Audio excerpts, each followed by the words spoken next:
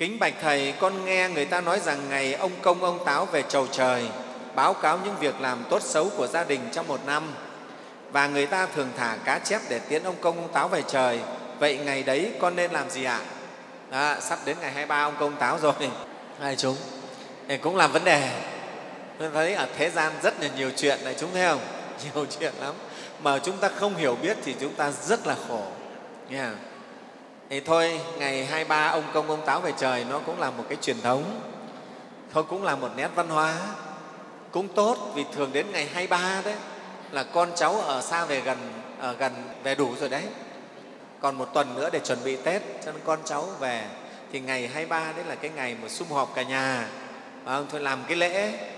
Cái tục lệ của mình gọi lễ hôm nay là lễ ông công ông táo về chầu rời. Thế ông công ông táo là cái ông thần mà nó có nhiều thuyết lắm thưa đại chúng thế giờ thì có cái thuyết nói là đấy là cái ngày lễ mà có hai ông một bà, nghe không?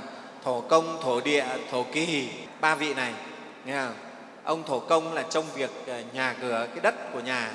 Ông thổ địa là cai quản cái vùng đất ở khu, ở cái xóm đấy, làng đấy. Cái ông thổ kỳ là ông cai quản cái việc coi như là chợ, búa, chăn nuôi, gia súc này khác. Đó.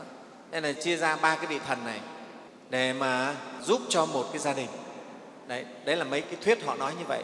Thế nhưng mà người ta thường nói là ông táo ông táo quân tức là cái ông trông ở cái bếp này này. Thế thì thường là tại sao lại ông táo quân lên trầu rời để báo cáo? Là vì đại chúng biết ấy, cái bếp ấy thường là chỗ gia đình ngồi sum họp đấy. Bếp lửa vì tết là rét xuống nấu bánh trưng rồi cả năm thường cũng hay từ bếp thì ra ngồi ăn cơm.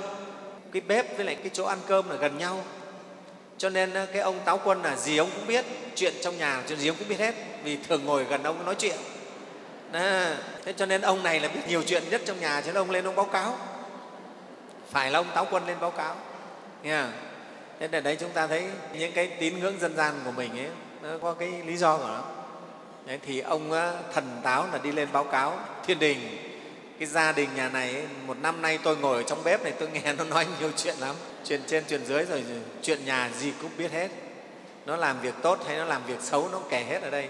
Vợ chồng nó bàn với nhau ừ, cha con nó bàn với nhau tôi biết tôi lên tôi báo cáo.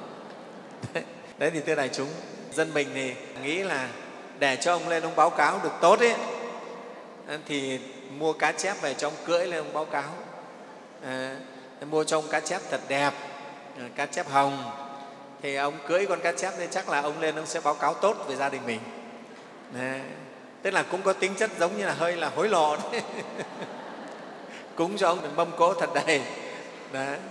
mua cho ông cá chép thật đẹp để ông lên báo cáo thế thì nói vui thế thôi như thưa này chúng này ngày tiễn ông công táo thì à, tập tục chúng ta thì thường là như thế à, làm mâm cúng cơm cúng xong rồi mua cá chép về, làm đi phóng sinh.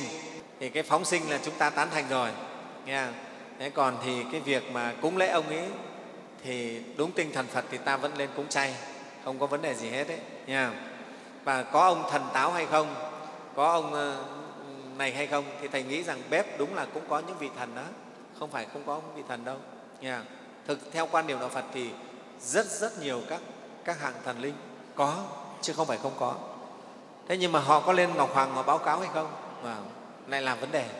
À, cái này thầy nghĩ nó không hẳn như thế nhé thế thì thôi chúng ta à, sống với nhân gian thì chúng ta cũng theo những các cái à, truyền thống cũng làm lễ ngày ông công táo cũng không sao nhé nhưng chúng ta biết rằng thôi cái ngày đó này sum họp gia đình vào cha con à, chồng vợ à, nói những câu chuyện về làm ăn rồi cuộc sống ờ, rồi động viên rồi nhắc nhở nhau sống cho tốt đó là cái chính thôi.